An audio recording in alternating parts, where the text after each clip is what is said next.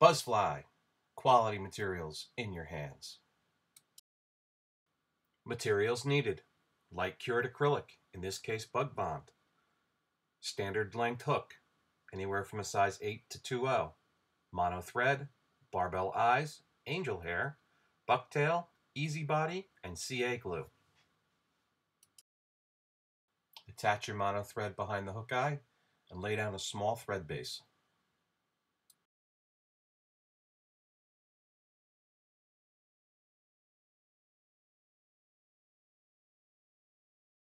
Secure your dumbbell eyes about a third of the way down the hook shank.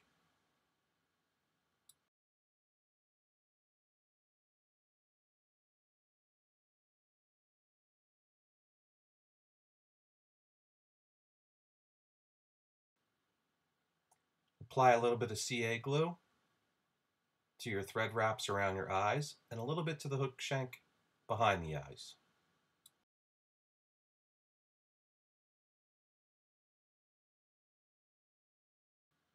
Attach a small clump of bucktail behind the eyes.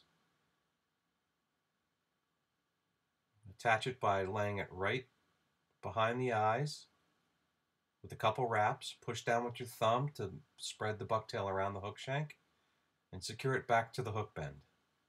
It should extend maybe one to two hook lengths behind the bend of the hook. Attach a length of silver flash behind the eyes and secure it all the way down to the hook bend. And now we're going to wrap that around the hook shank all the way up to the eyes and secure it down.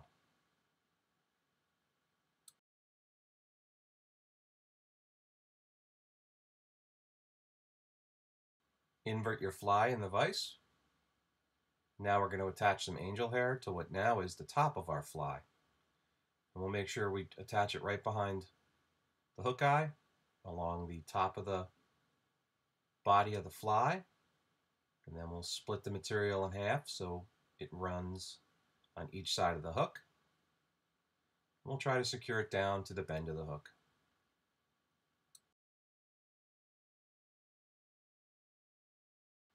After we've secured our angel hair, we can invert the hook again and trim off the angel hair to length. Now we're going to attach small EZ Body behind the hook eye.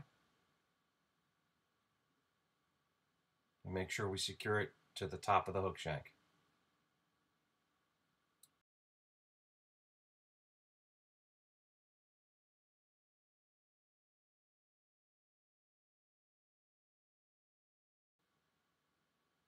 Now we can advance our thread back to almost even with the hook point and fold the EZ Body over itself to form the belly.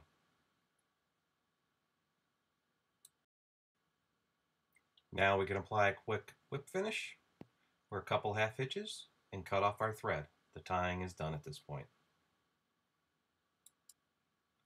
Now we're going to fill in our belly and coat it with some light cured acrylic. Just remember to be careful about using any light activated acrylics.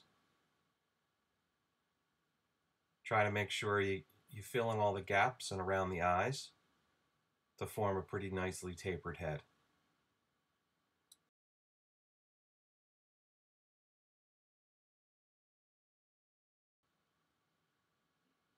Most light cured acrylics will stay in place once you've put them onto your, your fly. But sometimes when you build them up a little bit, like here, um, the, the material will move a little bit, which you can use to your advantage because you can rotate the fly in your vise to try to level out some of the material. And if you have some low spots or high spots, you can adjust it just with the tip of the uh, applicator by adding more or just moving the applicator around.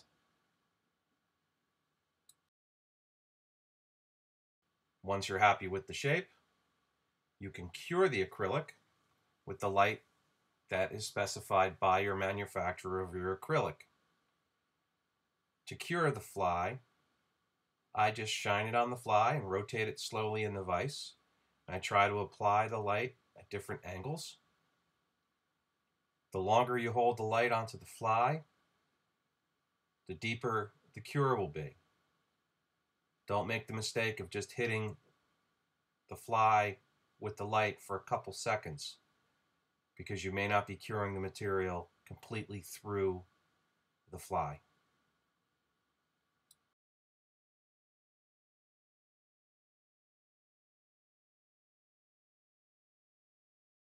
If you need to add a little bit more, just apply the acrylic right on top of your fly and hit it with the light. It's that simple.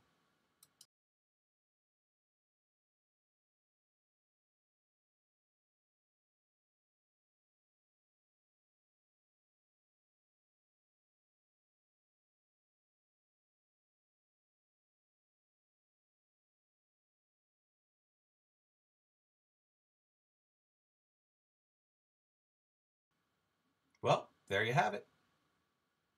A deep, easy sand eel. If you need more information, you can visit my website at www.buzfly.com. Thank you.